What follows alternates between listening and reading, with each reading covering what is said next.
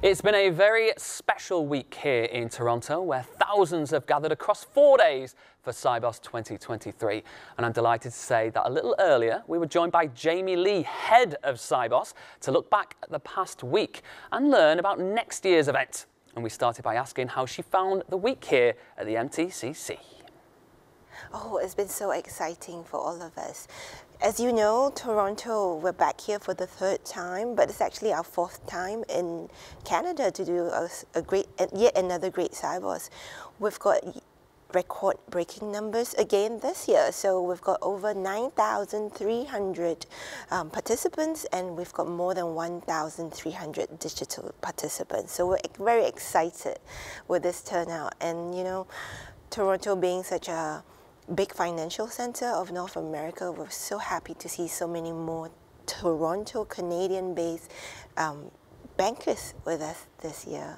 Well, I've had a great time. It's my first time in Toronto and it's been fantastic. But let's look ahead a second to next year, another big year, Sibos Beijing. Uh, I know it's over a year away uh, and you're still enjoying this one. We don't want to uh, forget that just yet. But could you give us any insights that you could give us already about what we can expect Sure.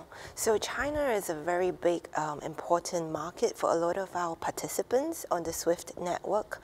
And, you know, it's the second largest economy in the world.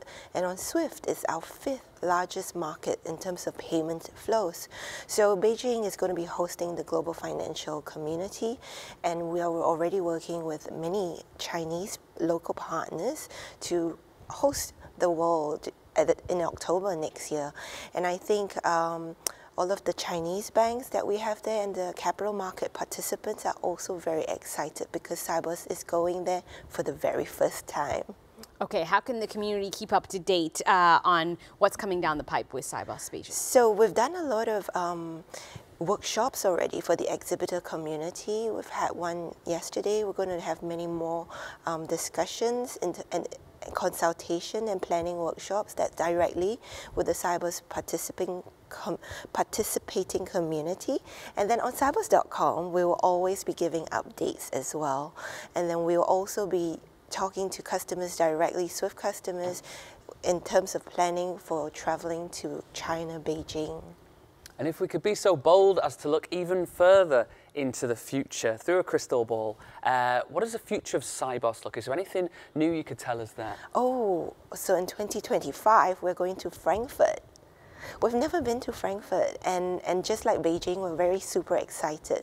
So we will be planning with the community again because Sibos is all about co-creation, you know? We're powered by Swift, we're powered by the community.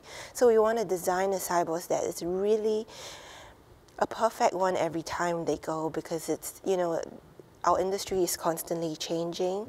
There are many nuanced uh, requirements, so we're so excited to go to Frankfurt in 2025. Congratulations on a successful week uh, and wishing you all the best on the future Sibos uh, uh events in the coming years. hopefully we can continue to be a part of it. Jaime Lee, head of Sibos, thanks so much for joining us. Thanks, Jaime.